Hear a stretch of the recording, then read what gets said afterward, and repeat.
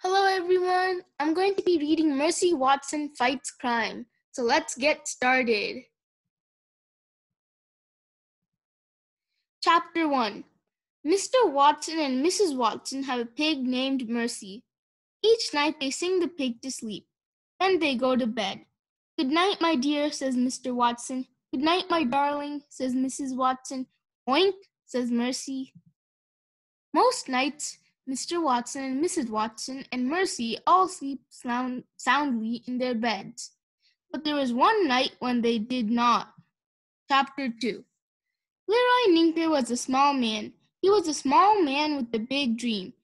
Leroy Ninker wanted to be a cowboy, but in the meantime, he was a thief. He was a thief in the kitchen at 54 Deckawoo Drive. Leroy Ninker was robbing the Watsons. Yippee-yo, sang Leroy. Everything must go. He grabbed hold of the toaster. He pulled it across the counter toward him. Screech! went the toaster. Shh, said Leroy. He tossed the toaster into his bag. Clang went the toaster. Shh, said Leroy again. Chapter 3 Screech! Mercy woke up. Screech was the sound the toaster made when it was being pulled across the kitchen counter. Mercy Watson loved toast. She particularly loved toast with a great deal of butter on it. Mercy got out of bed. She pricked up her ears. She listened. Mercy heard Mr. Watson snoring. She heard Mrs. Watson snoring. Who was downstairs making toast? Mercy went to the top of the stairs. She looked down into the into the into the darkness. Clang went the toaster. Clang was the sound the toaster made when Mrs. Watson turned it upside down to clean out all the crumbs. Somebody was making toast. Mercy went down the dark, dark stairs. She headed for the kitchen. Chapter 4 Leroy Ninker grabbed the blender. He grabbed the clock. He grabbed the cookie jar. Yippee-yo, he sang as he worked. In in you go. He grabbed the juicer. He grabbed the teapot. He grabbed the waffle iron. And then Leroy Ninker heard a noise. He turned around. Yippee! sang Leroy. Leroy, uh oh. Chapter 5 Mercy looked around. She did not see the toaster. She did not see the bread. She did not see the butter. Instead, Mercy saw a little man wearing a big hat. He was not making toast. Mercy was very disappointed. She was also very tired. She yawned. Good pig, said the man. He nodded. Mercy laid down. She yawned again. Nice pig, said the little man. Mercy closed her eyes. Yippee! Oh, the man sang softly. Off to sleep you go. Chapter 6 That there, whispered Leroy, is a big pig. He reached into his shirt pocket. He pulled out a butter barrel candy. He unwrapped, he unwrapped the candy and put it in his mouth. Hmm, Leroy thought. It might be a good idea for this cowboy to hit the trail. He picked up his bag. He stopped. Aw, shucks, said Leroy. The pig was blocking his way. There's no room to go around the pig, said Leroy. There's no room to go under the pig. Guess I got to go over the pig. Leroy stepped forward. He flung one leg over the sleeping pig. The pig moved. Leroy Ninker froze. Chapter 7 Mercy woke up. Oink, she said. Easy now, said a voice. Mercy looked out of the corner of her eye. The little man was on her back. Mercy stood up. Steady, girl, said the little man. Mercy shook herself. The little man slid forward. Whoa there, he said. Mercy smelled something. What was it? Butter! Mercy looked around the kitchen. No bread, no toaster, but she definitely smelled butter. Maybe someone next door was making sugar cookies. Oink, said Mercy. She galloped out the open door. She galloped toward the Lincoln sisters' house. Yippee! Oh! shouted Leroy Ninker. Away we go! Chapter 8 Upstairs at 54 Deckawoo Drive, Mrs. Watson woke up. Mr. Watson, she said, Umph, said Mr. Watson. Did you hear a noise? said Mrs. Watson. What sort of a noise, dear? A yippee-yo sort of noise, said Mrs. Watson. No, I did not hear a yippee-yo sort of noise, said Mr. Watson. You were dreaming, my dear. I was, said Mrs. Watson. You were, said Mr. Watson. Go back to sleep. Mrs. Watson got out of bed. I think that I will go and check on Mercy, she said, and then I will go back to sleep. Excellent, mumbled Mr. Watson. A top notch plan, my dear. Mr. Watson started to snore. Chapter 9 Inside the Lincoln sisters' house, baby Lincoln woke up. She went into her sister Eugenia's room. Sister, wake up, baby said.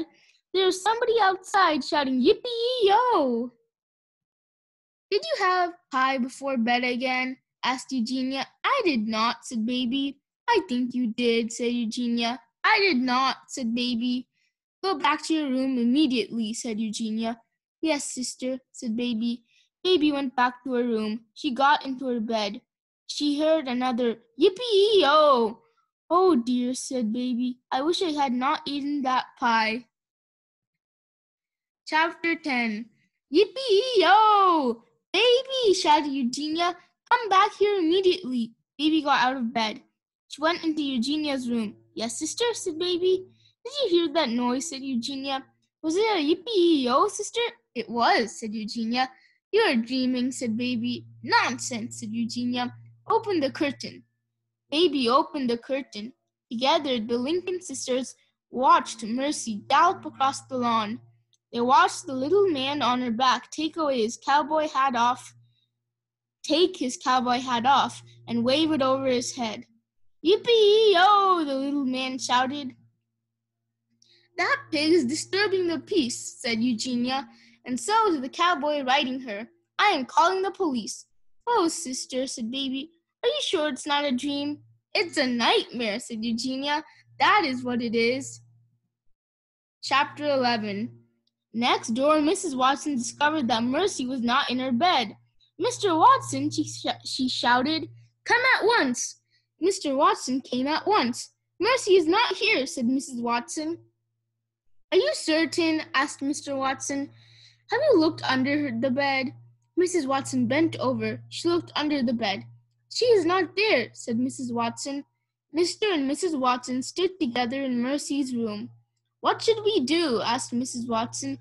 Yippee-yo! It's that noise again, said Mrs. Watson. Mr. Watson went to the window. He opened the curtain. He looked outside. Mrs. Watson, said Mr. Watson, we must call the fire department immediately. It's an emergency.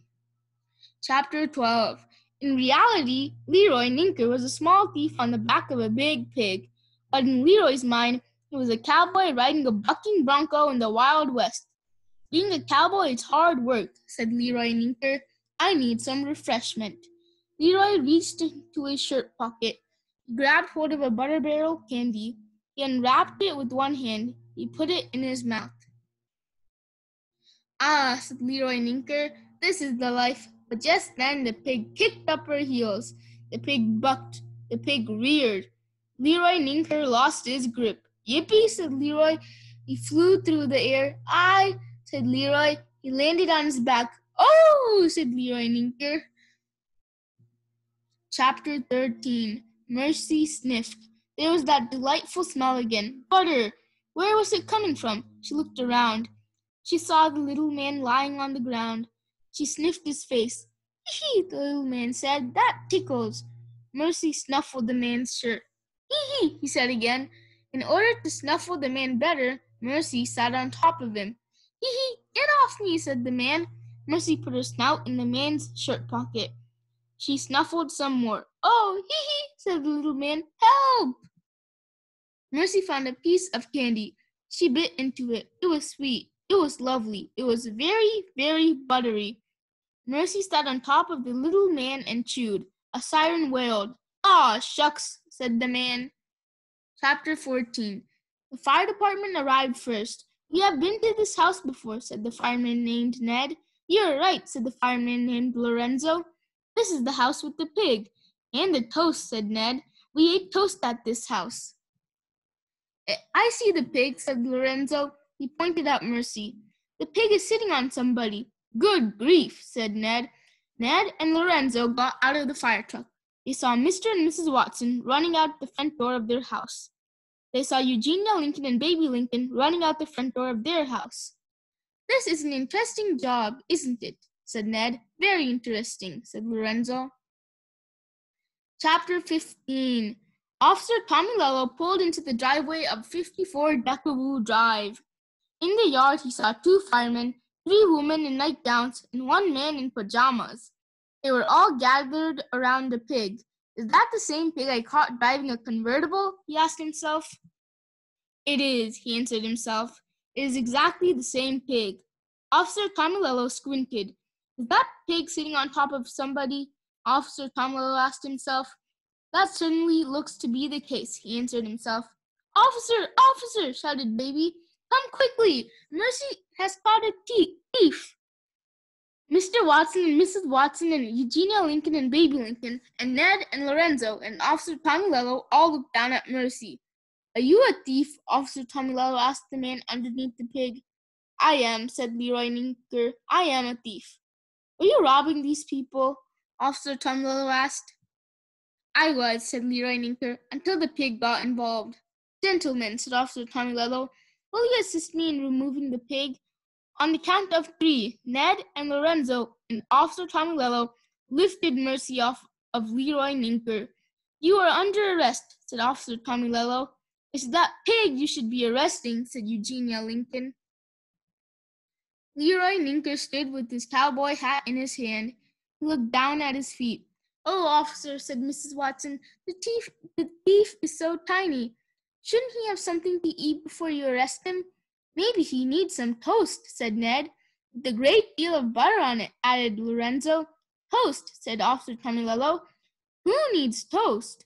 Why, everyone needs toast, said Mrs. Watson. Even cowboys, said Leroy Ninker. Mercy pricked up her ears. Toast! Butter! At last! She headed for the Watsons' kitchen, and everyone followed her.